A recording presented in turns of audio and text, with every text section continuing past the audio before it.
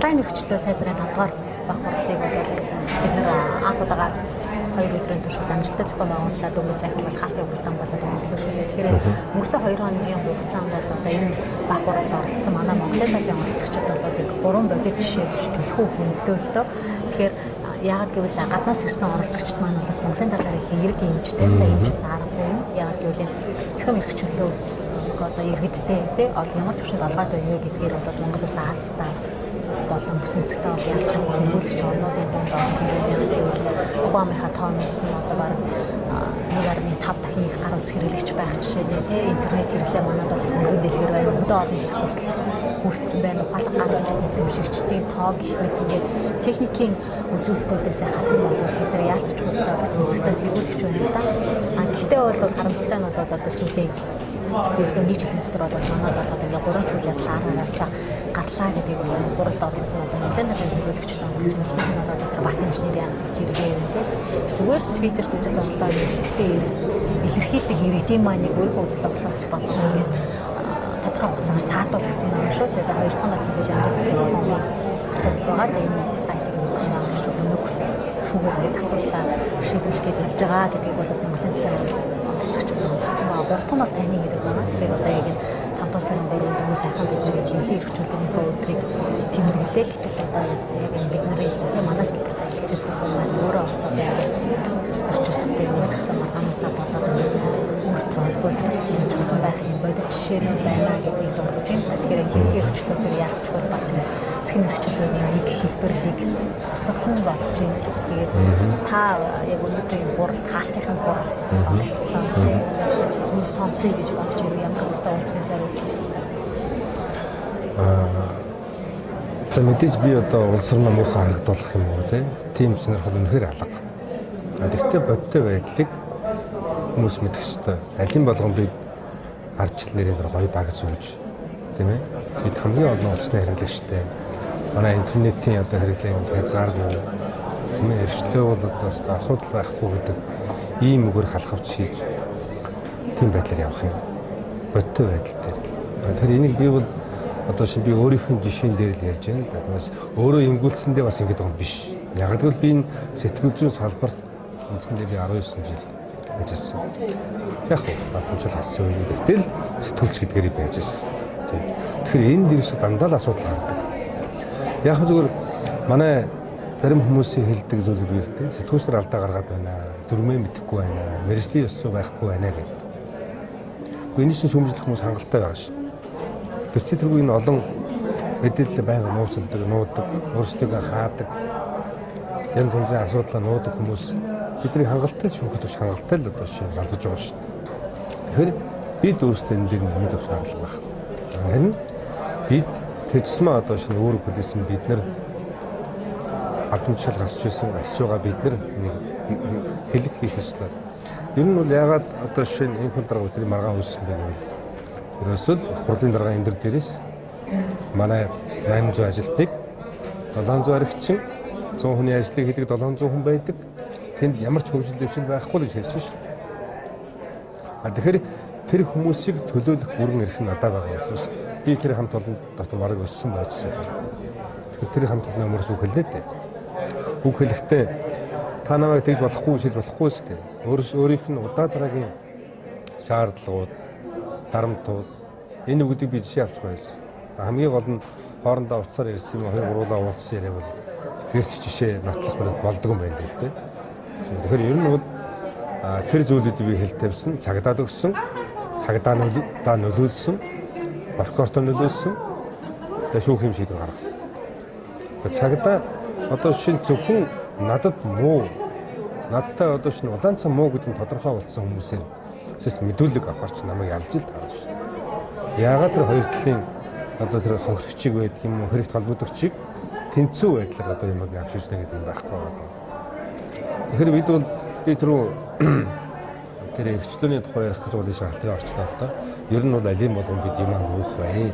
Тэгэхээр ямар нэгэн байдлаар одоо Наранбаатараар тэр бат инженерээ тийм ээ төгсгөл болоосаа гэж энийг бид хэлж байгаа. Яг тэгвэл Европын халбанд идэх хүн бол яг ийм чиглэлийн үр хүлээг л эзэлсэн шүү дээ. Мэдээж олон үр хүй гэхдээ тэрний нэг нь энэ.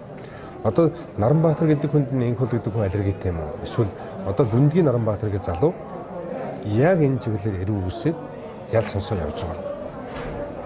Уул уурхай дийс Наранбаатар залуу биш үү? Наранбаатаргийн нэрнд дургуй мүү? Эсвэл ерөөсөө энэ хүн өөрийнх нь тухай ямар нэг юмыг твиттерээр асуухаар болдгоо мүү? Болохгүй юу те? Ерөөсөө бодтой байдал ийм болцсон байна. 5 сарын 3-нд бид нар хэвлэл эрсдлийн өдрийг тэмдэглэж өнгөрүүллээ. Тийм ээ. Тэгэхэд 5 сарын 3-нд хараат тусаар ажиллах ёстой Монголын үндэсний олон нийтийн телевизийн эфирээр захиалгатай нэвтрүүлэг явж явах жишээтэй. Ерөнхий захирал оюун дээр нь хэлсэн шүү дээ. Цэргэн дээр хэлсэн. Хэвлэлийн хэрэгслийн өдөр бэлэг барьсан, надад ийм бэлэг барьсан. Улсын хурлын их бол телевизэн захирал инхтэй хоёртаа баярлаа гэж яжтай байдлаа. Тэрөөсөн бид хэвлэлийн эрхчлөөнийхөө өдрөө ядаж тасч болохгүй байна уу? Тийм ээ? Ядаж.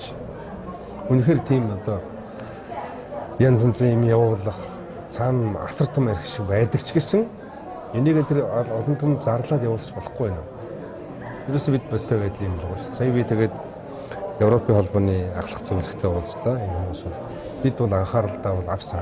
Бодтой байдал юм байна гэдгийг ойлгож байна. Энэ бүхнийг одоо шин бидэнд мэдээлээрээ бид бүхэн анхаарал тавина гэдгийг бас альбисар хэллээ. Тэгэхээр би бол ямар ч үсэн дэлхийн маань бүрэх учраас дэлхийн одоо хавтгай болцсон учраас тийм ээ. Тэнд байгаа энд байгаа болохгүй байгааны мэдээллийг тэнд авчин. Тэгэхээр ийм боломж байгаа учраас би бол үнэн байгаа айдас хүчсгүй гэдэг хүн бас амьдч болох юм байна гэдгийг ойлгочлаа л дээ. Шүүхтэр одоо таны тал шийдвэр гараагүй бол шалтгаан үндэслээ юу гэж тайлбарласан бэ? Шүүх хурал хаалтаа бас сонсно. Хамгийн гол нь энд бол хүн үг хэлэх хэрэгчлөө, хэвлэл нийтлэх хэрэгчлөөний тухай ярьж байхад яагаад хаагаад байна? Бохирчлог гэх хүн яагаад өөрөө ирэхгүй байна? Тийм ээ? Тэгэл яхав. Тэр хүмүүс хэрвээ нийлтээ шүүх хурал хийсэн бол ядаж тэр хүмүүс хараад өө за за шүүх юм болцсон юм уу гэж бодох байсан байх л да. Аа цагдаад өгөөд прокурор хянуулахаараа шалгуулахаараа шүүхэд өгөхөөрөө иргэн их бол байдаг. Аа шүүх шүүгдэх холонгуудаа яхаар улсын хурлд оруулчихдیں۔ Би ажил ихтэй амжихгүй. Нэр хүнтэй тийм л хайртай юм бол тэр хүн тийм л үнийг мэдсэн бол яагаад миний нүрийг хэлж харж байгаа. Чи яагаад яагаад ингэсэн бэ? Тэгэхээр яагаад миний хариултыг сонсохгүй вэ? Хоттой байдал юм л доо. Тэгэхээр дав залдах шүтний шүүхэд дав залдсан байна. Би бас Монгол улсын шүүхийг аа тэрчгэрээ бас юм болцоо би бодохгүй байна. Тэгэхээр яг энэ асуудал өмнө нь та хоёрын дунд те өмнө нь үүсээд байсан зөрчлүүд ужирсаар яг өнөөдөр ийм байдалд хүрч үү эсвэл гэдэг бас нэг ярилцаг байгаа даа. Яг тийм л тийм шүү дээ. Тэгээ энэ дээр бол одоо шинэ Аа одоо урд нь тэр ямар ч харьцаагүй байж бол гэнтхэн тэр хүн намайг одоо шинэ нэрийг солиод ихсэн гэж байхгүй шүү дээ. Тийм. Өөрийнх нь хүсэл зорилгоодыг би биелүүлэхгүй байсан. Ямар жишээлбэл ямар? Одоо шинэ томил гэсэн хүмүүсийн томилоод тэр хүмүүс нь ийм юм ажил хийнэгээ томилогдоод ирэнгүүт нь томилохын томилоод аа үйл ажиллагааг хязгаарлах жишээтэй бид хуультай шүү дээ. Олон нийтийн өмнө хүлээсэн үүрэг хариуцлагатай. Тэгэхээр тэрийг нь биелүүлэхээр биелүүлж чадахгүй тэр хүмүүсийг халаал явуулна шүү дээ. Тэндээс өрөөсөө бүх зуршлын юм явуулсан. Тэгэхээр таны нэр төрт халдсан гэж үзээд шүүхээс 10 сая төгрөг төлөх торгол ногдсон гэдэг юм. Хөдөлмөрийн хөлсөнд доод хэмжээг 51% дахин үржүүлсэнтэй. Тэгэхээр тэр маань 9800 гаруй магадгүй болчихгоо. Та хамгийн гол нь 5 жилийн хугацаанд Даранбаатар гэдэг хүн ял шийтгэлтэй тооцогдно. Төрийн захиргааны одоо шинэ улстай холбоотой ямар ажил хийхгүй. Элдвэнзэн сонгуулийн хүнд орох боломж болцоо байхгүй. Ийм л байдалтай байгаа шүү дээ. Магадгүй одоо би зорилго нь тэр байсан уу гэж байна. За түүнээс ш одоо 10 сая төгрөг юм чинь өгөөд 111-2 гэдгээр ялна гэдэг нь тэр бол ерөөсөө 5 жилийн хугацаанд ял шийтгэлтэй тооцогдно.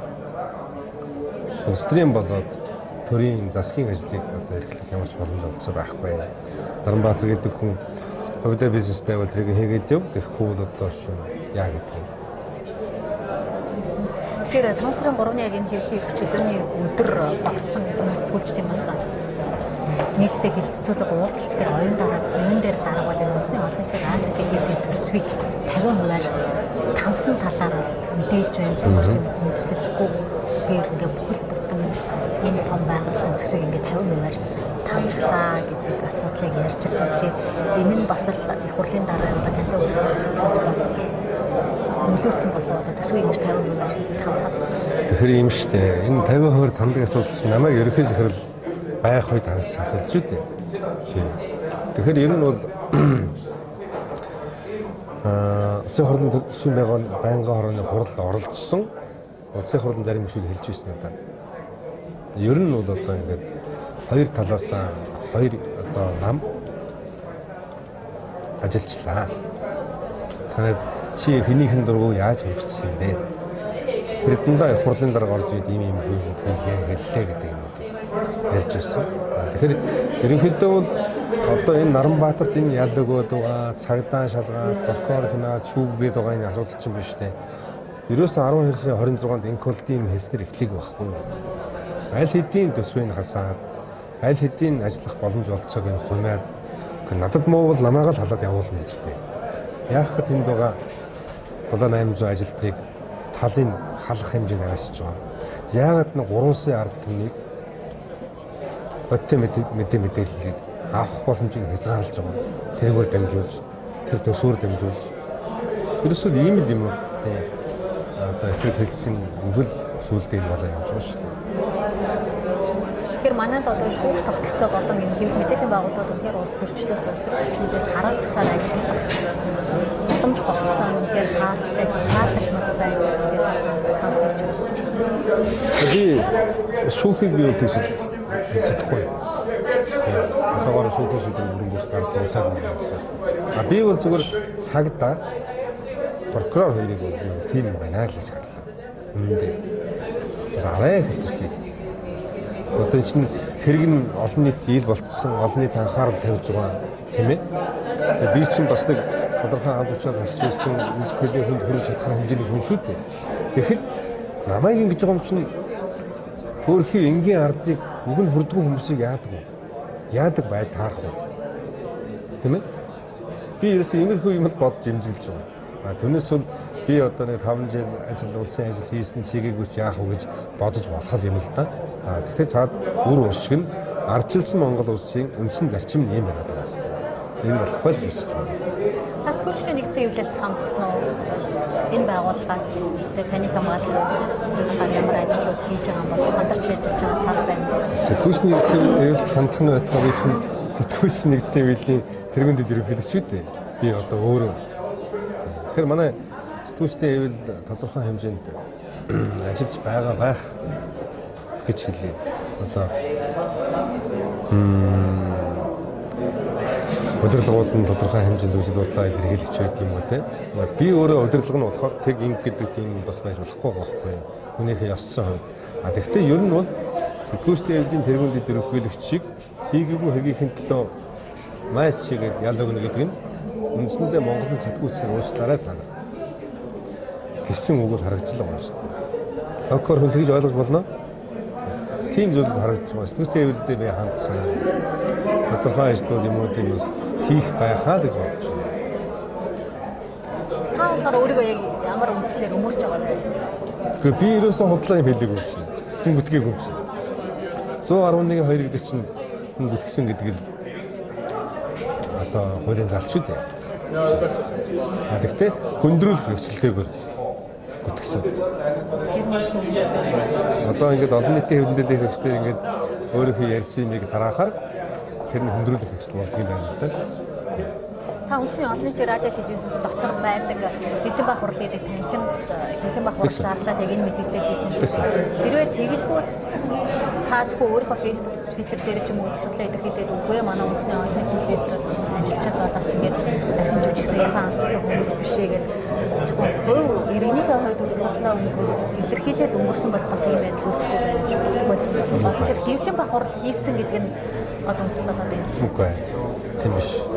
Би энийг бас манай хохирогч гэх хуралын даргын хөнгөлөгч нар ийм үг тарааж байгаа юм. Би уучлал гуйсан шүү дээ. Сайн зүйл. Гуйсан уучлалаа өөрийн биеийг авчирч өгөөгүй. Гуйсан уучлалаа цагдаад өгөөгүй. Гэх мэт.